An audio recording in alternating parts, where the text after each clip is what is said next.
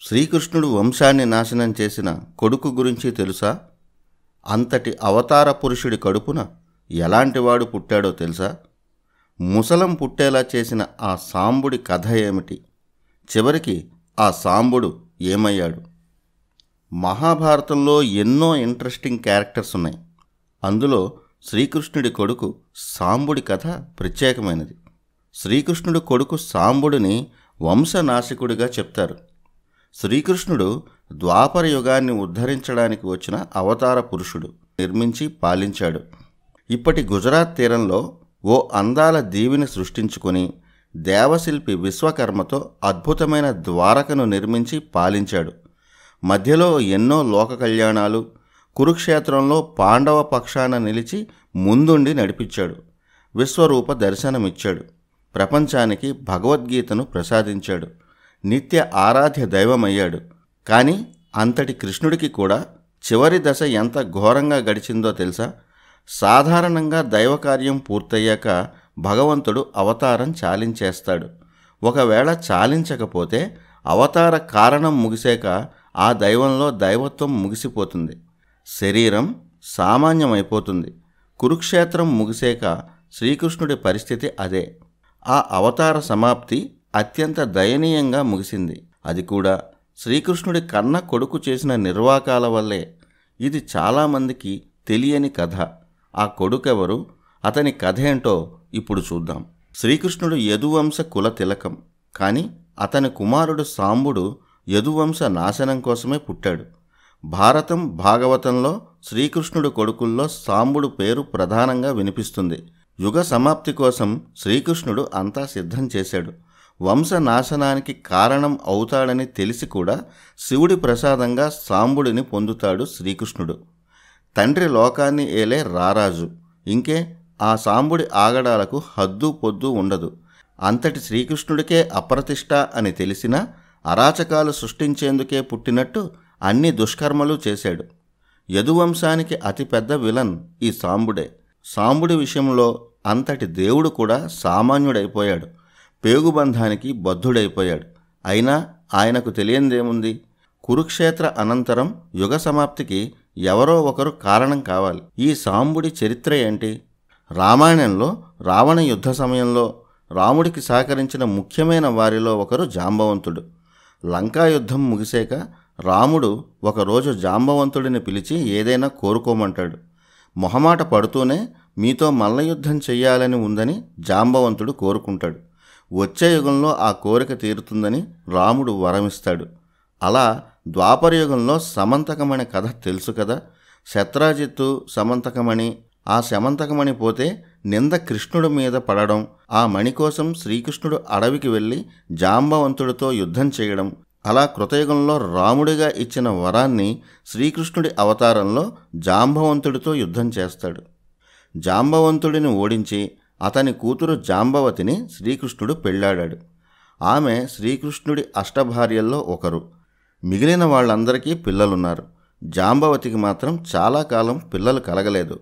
రోజు తన ఇష్టదైవమైన శివుడిని పిల్లల కోసం పూజిస్తూనే ఉంది. భార్యాభర్తలిద్దరూ పూజిస్తే పిల్లలు కలుగుతారని ఓ మహర్షి చెప్పాడు. అలా కృష్ణుడితో కూడా పూజలు చేయించింది.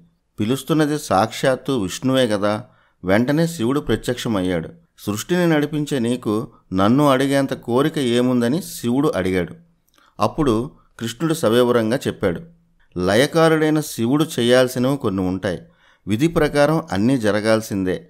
దానికి దైవం కూడా అతీతం కాదని కృష్ణుడు వివరిస్తాడు. మనిషిగా పుట్టాను కాబట్టి ఈ సంసార బంధాల ప్రకారమే వెళ్ళాలి.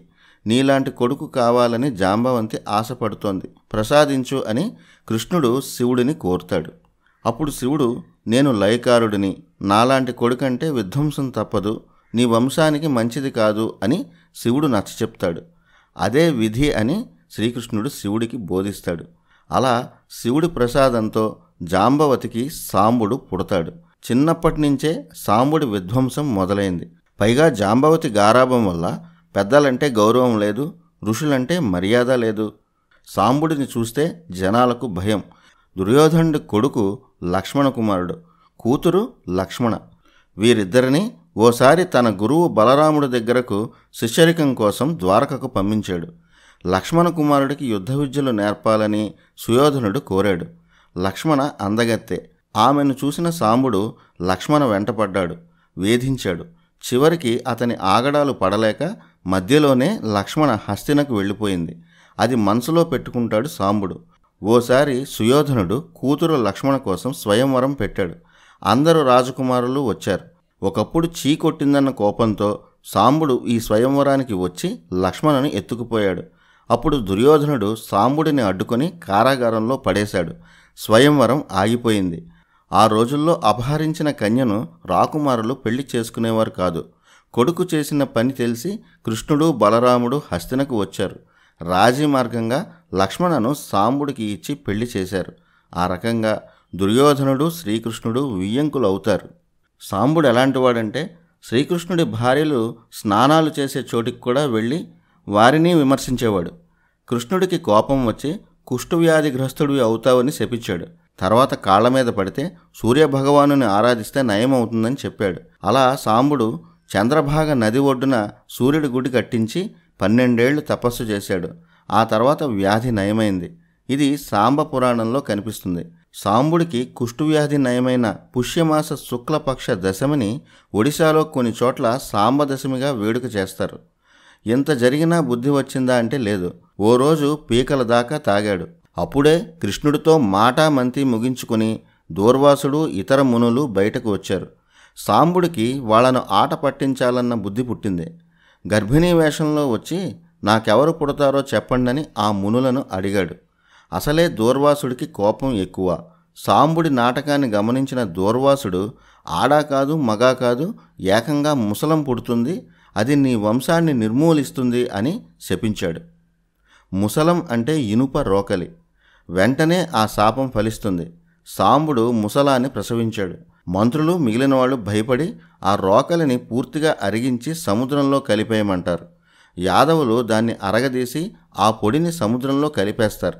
అయితే ఆ పొడి మళ్ళీ తీరానికే కొట్టుకొచ్చి వెదురుగడ్డిగా మొలిచింది. కురుక్షేత్ర యుద్ధం పూర్తయింది. మాయోపాయాలతో గెలిచినందుకు కడుపు కోత పెట్టినందుకు నీ వంశనాశనం అవుతుందని గాంధారి శ్రీకృష్ణుడికి శాపం పెట్టింది. దూర్వాసుడు సాంబుడికి పెట్టిన శాపం కూడా అదే. కురుక్షేత్ర యుద్ధం ముగిసాక కొన్నాళ్ళకు యాదవులంతా ఈ వెదురు మునిచిన చోట తప్పతాగి తూలుతున్నారు. వారిలో సాంబుడు కూడా ఉన్నాడు. మధ్యలో ఎవరితోనో మాటా మాటా వచ్చి పెద్ద గొడవ అయింది అంతే అక్కడే పెరిగిన వెదురు కర్రలతో కొట్టుకొని అందరూ చనిపోయారు. సాంబుడు కూడా మరణించాడు. అప్పట్లో ముసలాన్ని అరగదీసినప్పుడు చిన్న ముక్క మిగిలితే దానివల్ల ఏం కాదని సముద్రంలో పడేశారు. ఆ చిన్న ముక్క జరా అనే ఓ వేటగాడికి దొరికింది. సూది మొనలా ఉన్న ఆ ముక్కతో జరుడు బాణం తయారు చేసుకున్నాడు. ఓ రోజు కృష్ణుడు ఓ వనంలో చెట్టుపై కూర్చుని సేద తీరాడు. ఆయన కాలు ఊపుతుంటే అదేదో జంతువు తల అనుకొని జరుడు బాణం వదిలాడు. అక్కడితో శ్రీకృష్ణుడి అవతారం ముగిసింది.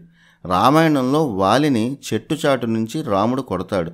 ఆ కర్మఫలాన్ని ద్వాపరంలో శ్రీకృష్ణుడు అనుభవించాడు.